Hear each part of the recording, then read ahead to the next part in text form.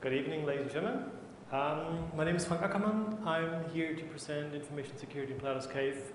I'm focusing on uh, offshore development and outsourcing, which is a quite interesting topic since a couple of years, especially in Europe, where a couple of companies are thinking about giving away the IT to another company or other persons bringing up new services, new ideas to, let's say, establish new possibilities to engage money, to engage new work, to engage new companies.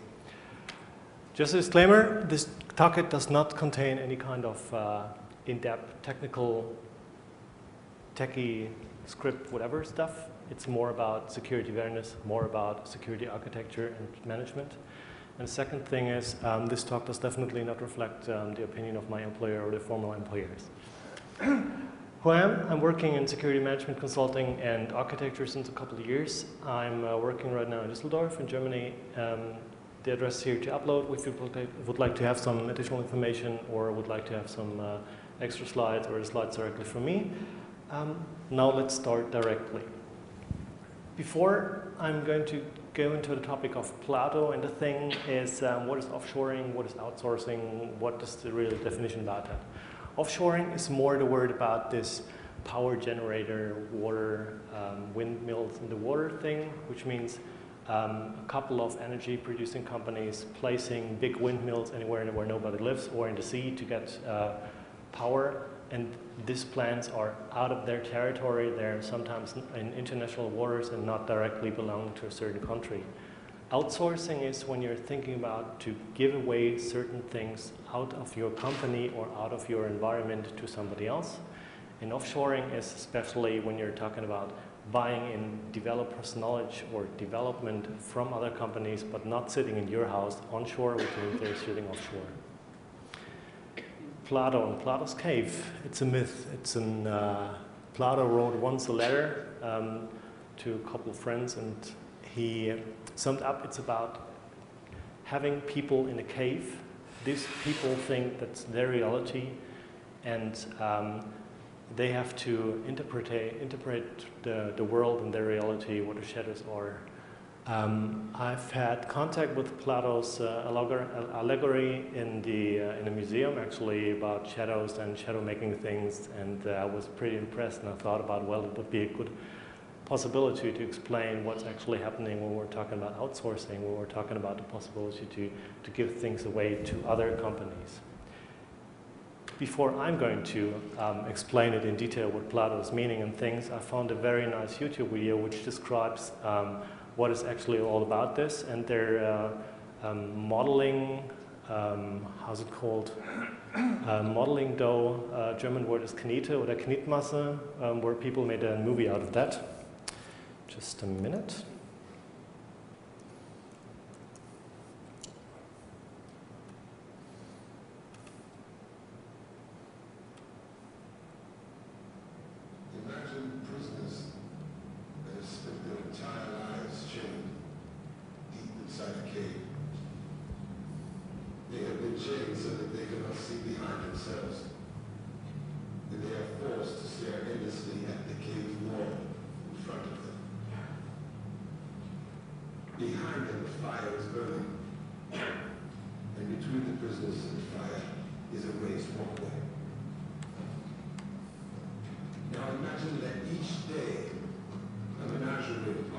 crosses the wall.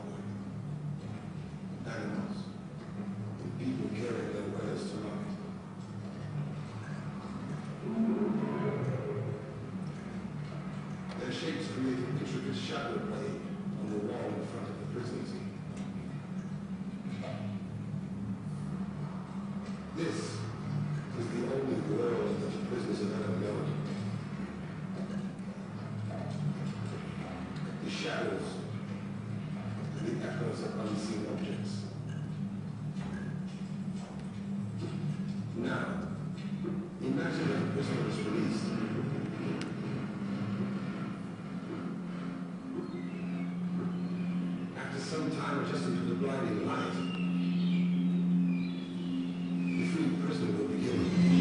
Experience the world outside of the cave for the very first time.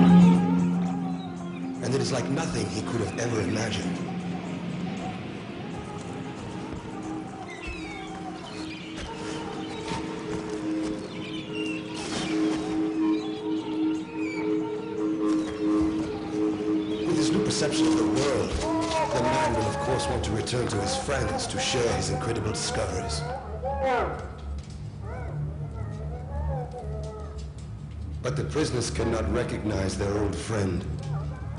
He appears as all things do. His voice is a distorted echo, and his body is a grotesque shadow.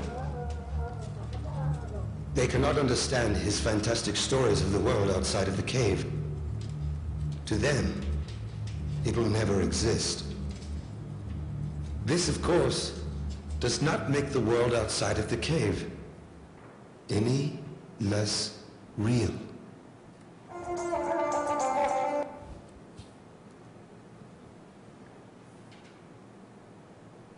So, the intention to show this um, little movie was to give you more explanation, uh, better explanation what actually Plato's Cave is and uh, which kind of viewpoints we have. Um, we're actually in the position right now that we have been in the real world and uh, we're staying in the cave. Why? Because um, when we're in the cave, and uh, the cave is actually the situation where we are because we're bringing things towards the light and we say, well, we're not in, in the real world anymore. Um, we chain ourselves in the cave. Um, was it kind of weird? I'll go into in detail now. We're in the very um, bottom of this little picture. We are in the cave. We know that there is a cave and we know that there is shadow. We see the shadows. A second circle, there's, um, there's this object or things which actually cast the shadows and the fire itself, and there's the real world. The real world is actually when we're having IT and uh, our own IT and our own company. So we have a direct influence into this, uh, what's actually happening about all the servers, all, all the applications, which kind of architecture we're having, which kind of processes we have behind that. But when we're thinking about outsourcing, we're pushing ourselves into a cave we're pushing ourselves into a situation when somebody else is managing the real world and managing the, uh, the situation, which kind of reality we're going to be, be displayed. As I mentioned, we're prisoners. When we're going to think about outsourcing, we're bringing somebody else in a position to show somebody, to make us something new visible, which is actually happening or not The change um, our, our, interpretation of which should be implemented. Talking about security, yes. Talking about, for example, compliance, talking about policies, talking about controls, talking about internal control systems. The shadows, when we're sitting in the cave, the shadows are our understanding um, of what the things might be. That must not be because, as uh, also shown in the shadow uh, in the in the movie itself, um, the shadows are kind of grotesque the people sitting in the cave, sometimes knowing or not knowing what the real world is, um, just understand, yes, there is a shadow and something might be happening, and they're going to try to understand what that means. But without clearly defining what they really would like to, or what they need to see to understand what's really happening in the level of fire or in the reality, um, it's absolutely not, not working. The objects, um, which are in uh, my picture in the second uh, layer, the objects are the thing where the outsourcer in that point is able to show and to um, describe what, what, what kind of shadows should be um, displayed on the wall.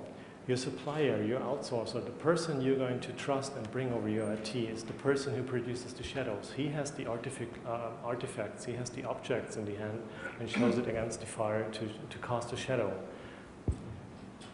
And you are actually the one who's, um, sorry, I missed kind of a red line.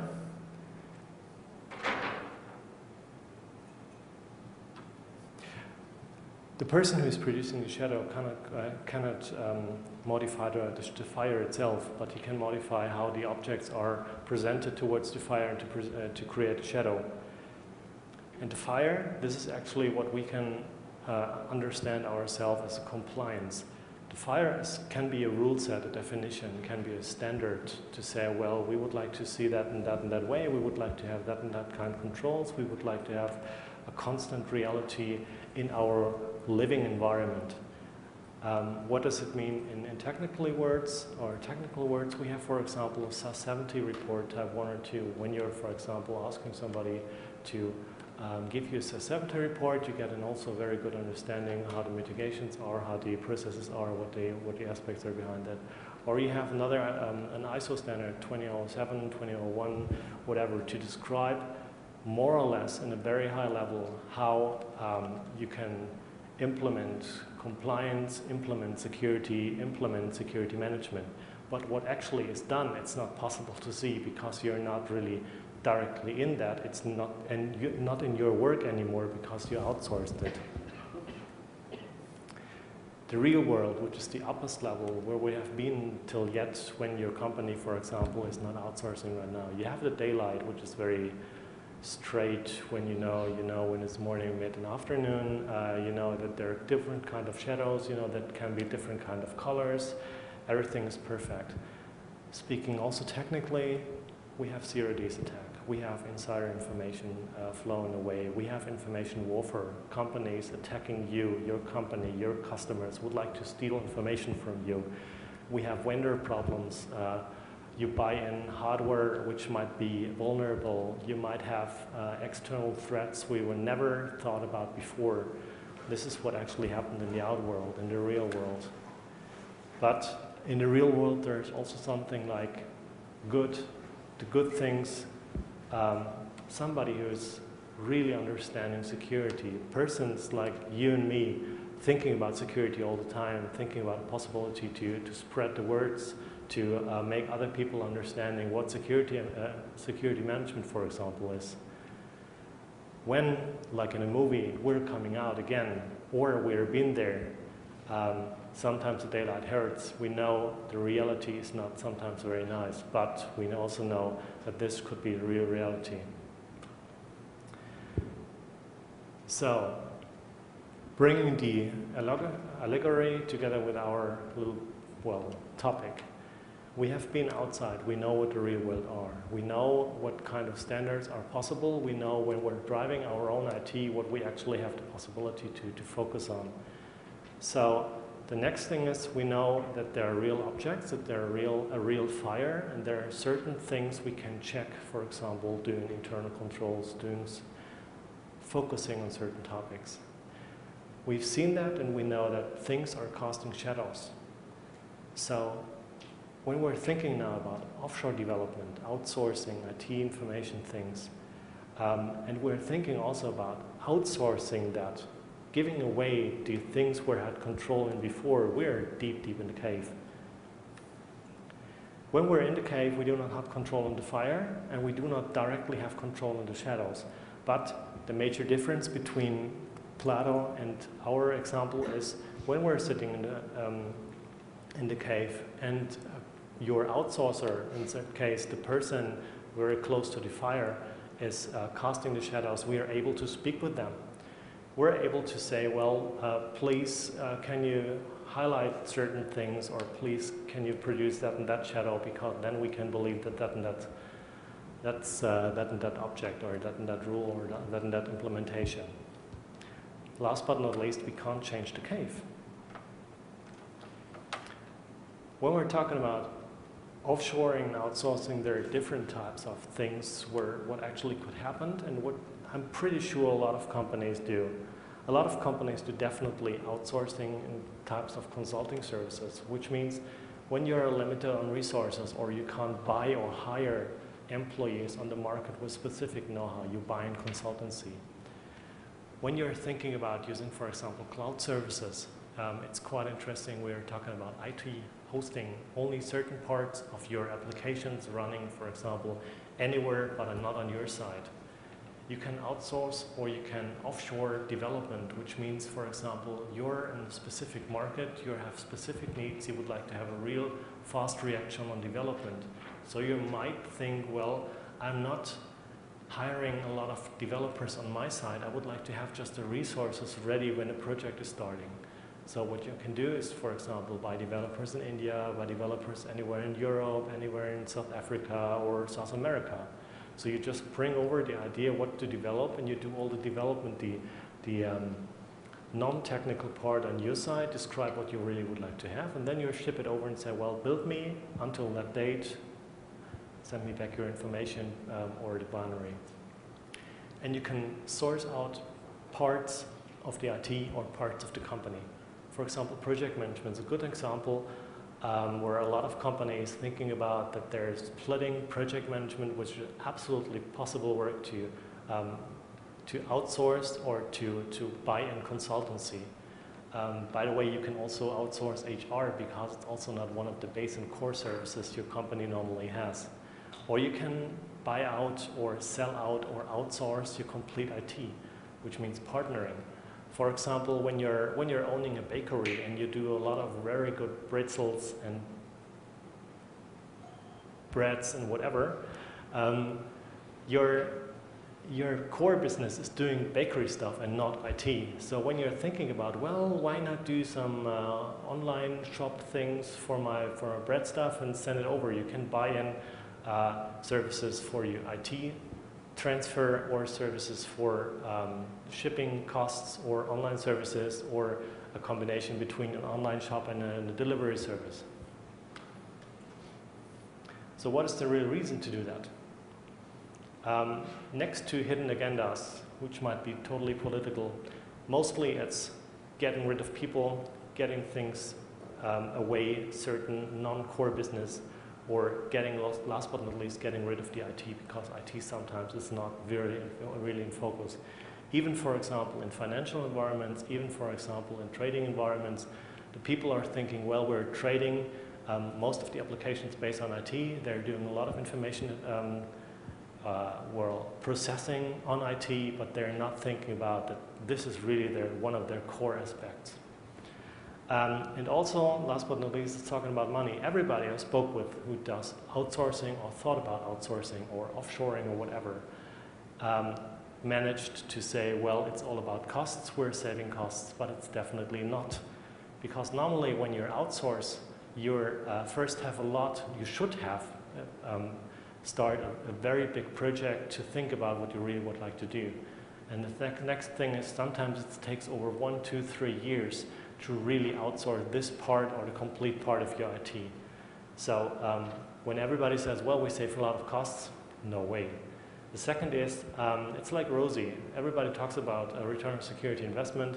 Um, it's a nice topic, but nobody really established it in the company. So it's the same. This were already mentioned. Um, we have been outside, now we're inside, now we're going to try to interpret, interpret what the shadows are, what's actually happening. And um, what is the difference between the shadows in our new world, which means within the case, uh, within the cave, or what is uh, the, difference to the, to the real world itself, which means um, we know what we can control, we know what there is, we know what there was, and now we have to make, make a match. So we're the ones in the cave. We know who's producing the shadows. We can change the situation. Here we go. And that is what we actually have to do. We have to think about what do, which kind of world information do we need in our cave to, to regulate it, even when we're doing outsourcing. And then you can say, well, uh, might be a lot of things to do. Oh, yes, of course, we can use standards. Um, standards industry standards. A lot of crazy, a lot of sometimes really good stuff popped up the last couple of years, and a lot of um, outsourcers also present. By the way, is anybody of you working for an outsourcer or an offshore service company? No. What a pity. SAS 70 report. It's a great opportunity to um, ask for. It's a great opportunity to show up to the auditors and say, well, we have a supplier already. We have somebody here in, uh, with a binding contract. You can show up a SAS 70 report. A SAS 70 report shows um, on in-depth security aspects nothing. The same like ISO 2001 or the implementation ISO 2005. When you're certified, you're certified to certain audit aspects where the auditors of the audited company uh, thought about, have on their checklist. But in my opinion and what I experienced, there was saw till yet that their certification does not really describe that this person is really sure. They have certain aspects implemented, they have very good ideas sometimes, or sometimes a very good uh, change management or incident management or service management or whatever, but they're not, um, well, they might be as secure or more secure um, as, as you or have been for, have you been before, but um, the, this kind of standards does not show that. It's more or less comparable, but you cannot say, well, we have two competitors we would like to challenge, and both have the ISA 70 report and an ISO 01, uh, ISO XYZ uh, certificate and license. Um, which of one is better? You have to look in depth what's happening. We have COBIT standards, for example. We have ITIL standards. We have PCI DSS, which came up in the last couple of years and which is pretty, um, a pretty money-making thing. Um, next to the industry standards, you have a lot of baselines, governance aspects which are coming up, policy-specific laws, policy-specific guidelines, development guidelines in the other company, uh, which might not be com um, comparable to your development guidelines before, um, individual compliance checks, um, company's maturity level, which means sometimes your majority level might not be the same, might be lower or higher than the majority level of the, of the company you buy in. Um, I experienced one time that an, a company outsourced uh, certain parts of IT and said, well, we do it with a, with a company in India. And then after around about a year of uh, challenging both sides, um, they realized that the maturity level of the Indian company was much more higher and very specific, and they had very good ideas for how to practice, how to uh, do processes, how to document, and the company who actually ordered the stuff weren't able to compare it because the maturity level was too low to understand what they really do. Surrounding of national laws, that's another aspect which is quite interesting. When you're doing business in Europe and you're doing business with companies in Europe, it's quite easy because you have the Euro uh, European law and European governments. Um, you have local national laws. But when you're talking about inter non-national or inter non-Europe connections towards Europe or towards, uh, for example, India, America, Russia, South Africa, it's quite interesting to get this all together, to get this, for, first of all, comparable, to um, really um, make it possible, for example, to transfer information. Um, well, also, for example, when there are certain encryption laws in place, for example, delivering information towards uh, France, towards China, towards US might be interesting sometimes. Of course, you have language problems. For example, when you're having French-speaking or German-speaking company would like to outsource and they're thinking about outsourcing things to Brazil or to India, um, and not everybody in your own company uh, or the ordering company is uh, speaking English, so it might be sometimes quite interesting to get your work done you would like to go out or you would like to outsource. And additionally, you have cultural problems. Um, coming back to the uh, industry standards, even when there is an industry standard and you're pretty describe in, in detail, pretty precise, which kind of change management you would like to see, which kind of controls you would like to see, which kind of evidences you would like to have on the audits. Even it's so precise, nobody really could under, misunderstand that. The description is coming from you from, for example, European environment. When you bring this over to China, to India, to Brazil, to whatever, the people might understand what you mean, but might deliver different evidences, different aspects, which are not, let's say, matched directly to that what you really need. Risks and benefits. Um, when you say you would like to outsource, yes, you put yourself in a position. And then, then uh, you have to think about what is your really, what is your, definitely your real core business. And then you can say, well, I would like to do that because of certain things. And are there risks? Yes, there are. Um, and, and, another thing I've learned that sometimes it's very uh, interesting to talk not about risks, more talk about challenges or talk about chances. So um, I try to bring that in later on, but uh, we should also talk about challenges, uh, chances. Um, we're talking about this risk and benefit aspect, the confidence aspect is very interesting.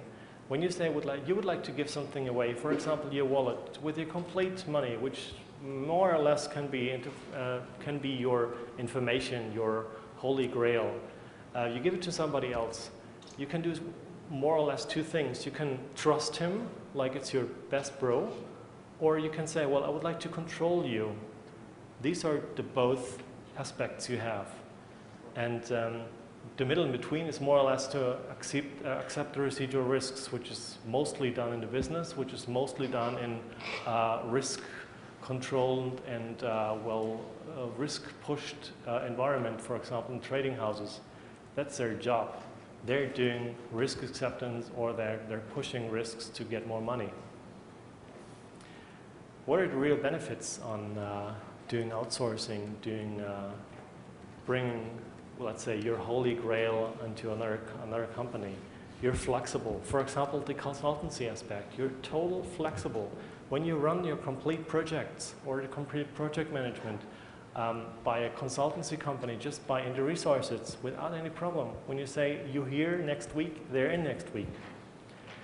You can um, extend and increase the possibility of knowledge. You can say, well, I would like to buy in, for example, security consultancy, and they have to train our administrators. Perfect. You can also increase your, uh, your business, um, as I mentioned, this uh, transfer delivery, uh, delivery, uh, delivery and online shop thing. Um, the bakery is not able to implement IT as normal IT persons do. So they buy in the resources and say, well, other people can do it better. Here we go. What are the risks? The risks when we're talking about IT partnering, which means the total IT is away. You're giving away the IT heart, everything, all the service, all the services, all the applications, all the connections, all everything, away to another company. You might lose your data. You might have the possibility to also lose control um, of the evidences, which means you don't have any evidences. So when the auditors at the, at the end of the year come up and say, well, please show me where your data is, and anywhere in the cloud at an IT partner, you don't have a clue. And this is what you have to say. You're losing also uh, the possibility of uh, influence your architecture. For example, then when you're outsourcing or you're uh, ordering um, IT by another uh, company, you normally say, I would like to have web services, but you're not having a possibility to discuss, well, I would like to have that and that kind of product, and that kind of version. I would like to have a, I prefer, for example, WebSphere or Tomcat or uh, not IIS, whatever. And there's a risk that your IT partner, which might have different or um, certain clients, they might blend your information, which mix it up. For example, when they're not segregating the databases where your data is stored, um, sometimes it happens, I've heard, that data is mixed up. Um, when you are sourcing out parts of your IT, for example, application management only or other services, you might lose also company data. You might also lose knowledge of the application, or um, for example, when you lose uh, when you're sourcing out project management only, um, you might also lose knowledge of how the project management works or lose uh, knowledge of um, the application itself or the business knowledge. Sometimes it's also very important to have direct contact into the business, which is internally more possible than working externally.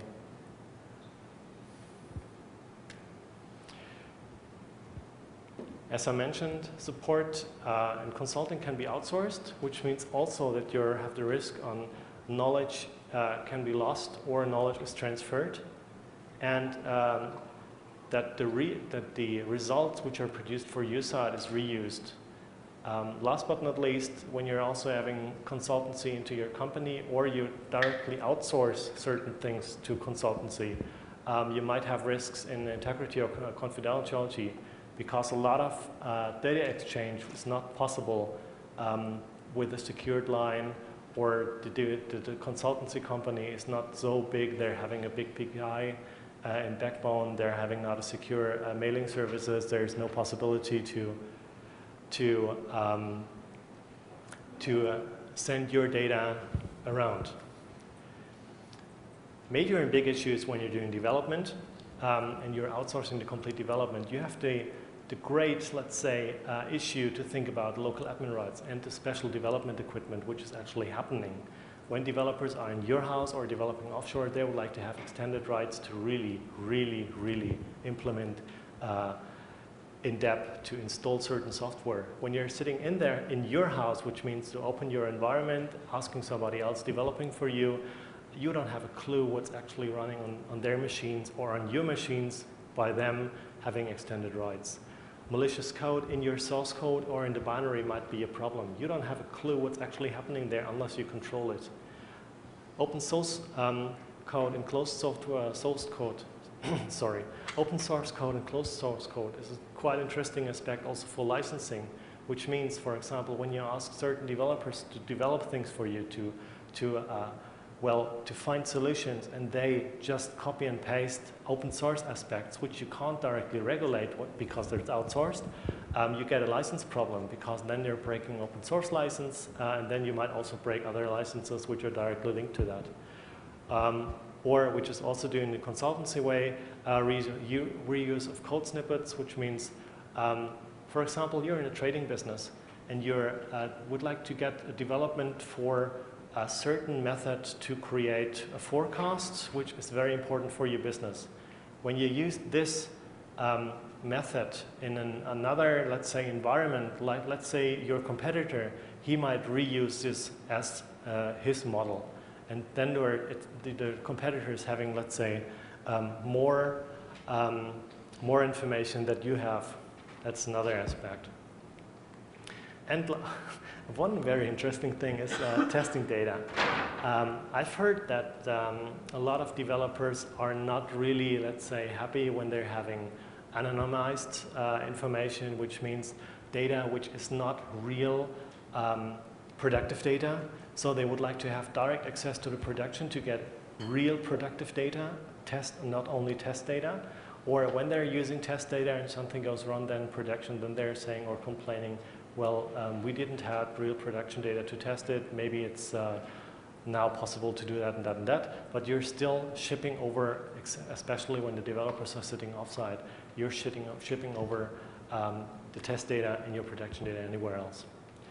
Um, data exchanges were interesting when they're sitting uh, offshore and at onshore. Um, virtual environment is quite interesting. Um, sometimes you don't have a direct access when they're using virtual environment. Uh, intellectual property copy, copyright aspects might be very interesting.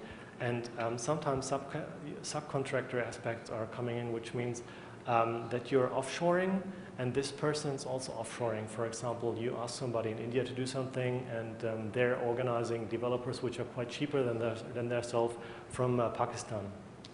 Last but not least, you're the owner of your data, you're the owner of your business, and you have to think about what you really would like to shift over. So, we have to mitigate, yes. We have to know the risks, yes. And I have only 10 minutes, yes. Um, first mitigation, strategy, strategy, strategy. I can't repeat it often, more often. It's, um, it's so important to first think about what you really would like to do, to first think about what you would like to achieve. What is the thing, what you really would like to do concerning your business, what you would like to do with the IT. What is the IT strategy behind it? And then afterwards, what is your really IT information strategy? Know what to order and not only do a handshake on the golf course. Information security aspects, classify, it's also standard, it's nothing new. Classify your data, classify your information workflow, classify your business, know what you really have, know what your really assets are, know the holy grail. Then you can de describe what your really access controls are, what you really need. This is what I mentioned with the fire shadow thing. When you know what, you what you're having and you know what you expect, you can directly, very in-depth, concrete, describe what you want.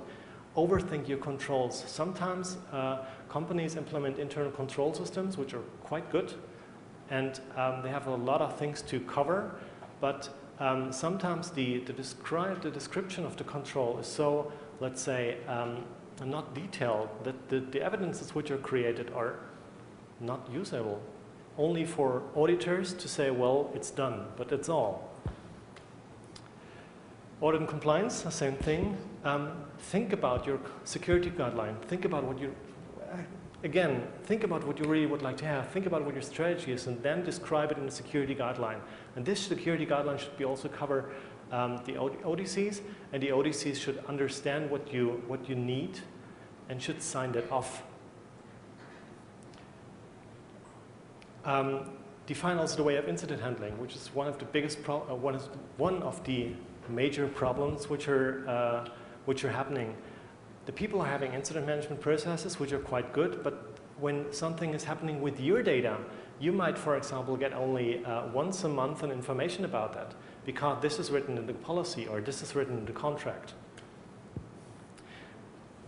This is quite easy. Um, think about segregating networks, think about segregation uh, duties, um, define information flow and exchange possibilities, and uh, overthink your entries, which means, um, for example, working with a consultancy company, think about exchanging data um, securely.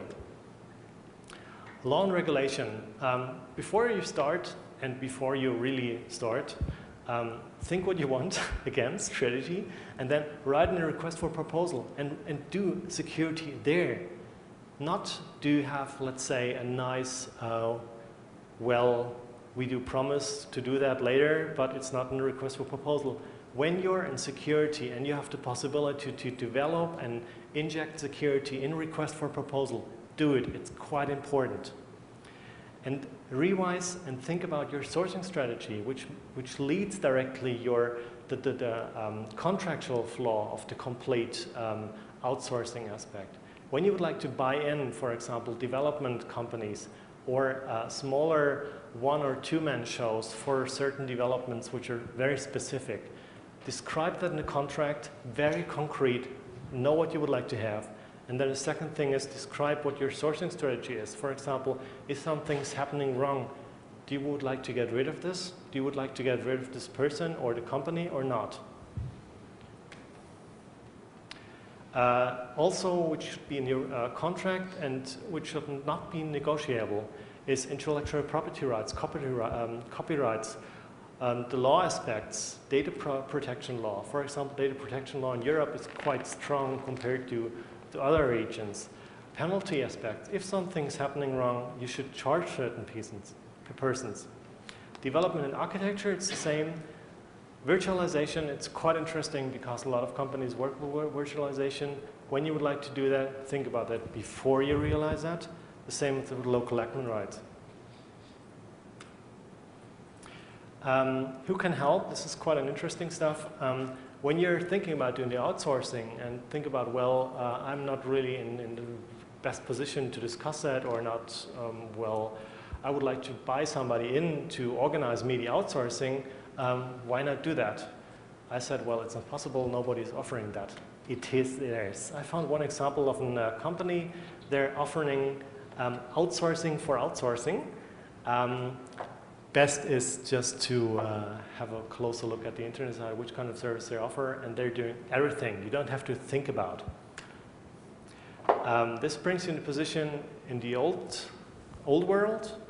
In the um, Plato's real world thing, you have um, business orders IT, which means um, the IT is directly, when you're in the business, directly in your charge, you have directly access to it. The new situation would be the outsourcer there, and your IT is doing kind of demand management. So the business is talking to IT, and the IT, as the demand manager, is pushing that over to the outsourcer or partner, whatever. And this supported situation is quite interesting um, that your business is ordering your IT, the IT is doing something together with the outsourcing service, and the outsourcing service is directly demand managing the outsourcer. I think this helps really good. Um, Another thing is, by the way, uh, ramp-up services are offered, but nobody is thinking about shutting that down, which means everybody's saying, we'll be pushing that over, but nobody's pushing that back.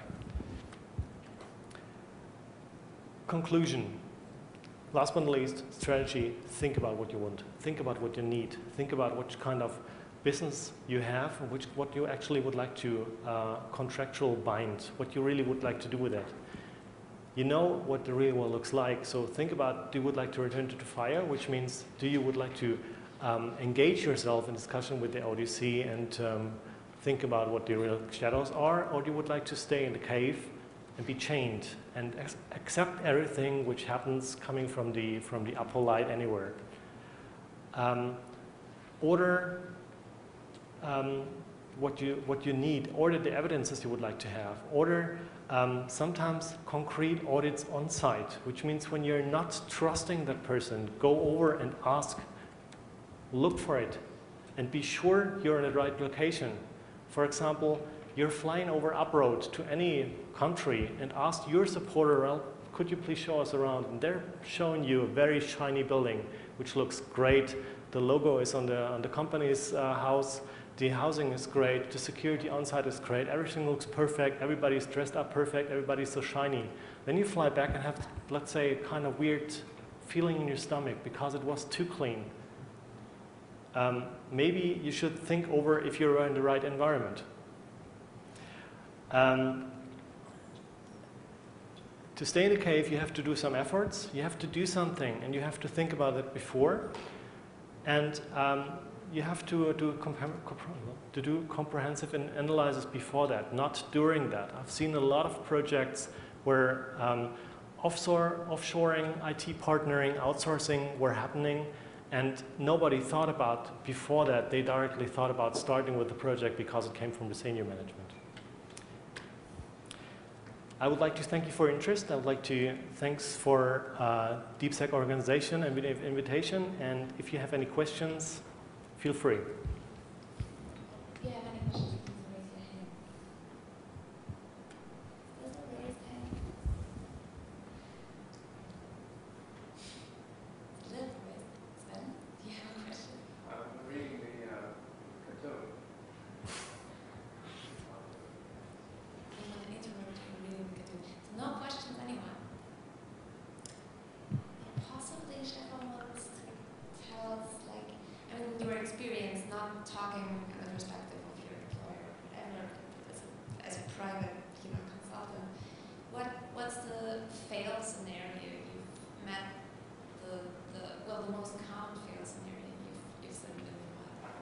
Or the worst case? Maybe both, if oh. you're quick. Um, the worst case sounds funnier.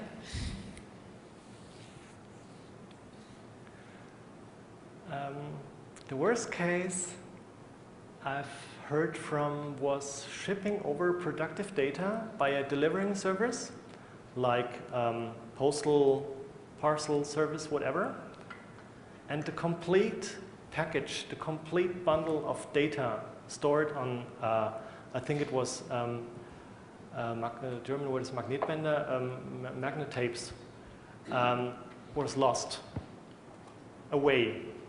Not encrypted, not nothing, and everybody said, well, it's not too good, but well, um, happens.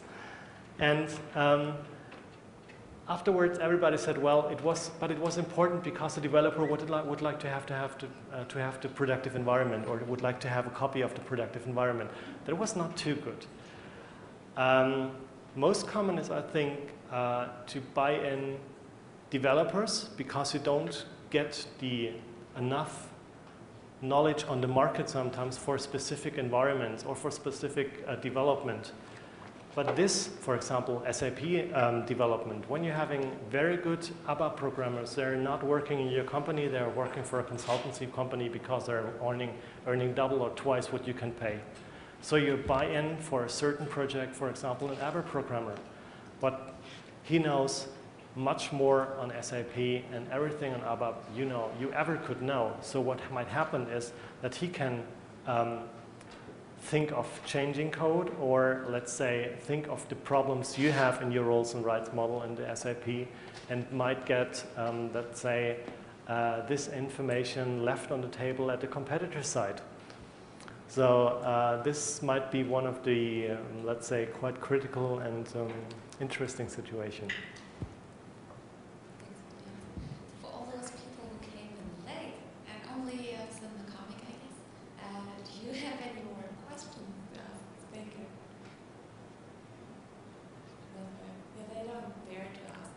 Thank you.